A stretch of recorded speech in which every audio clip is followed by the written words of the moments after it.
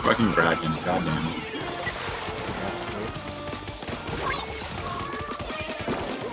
They're still not going bottom, they're all up there. I still got it locked down down here.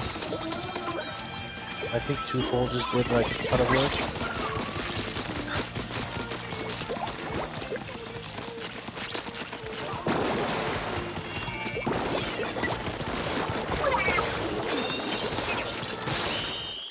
Um, Just got the whole bottom floor locked down. he was still firing his Inkzooka when you put it on the pedestal.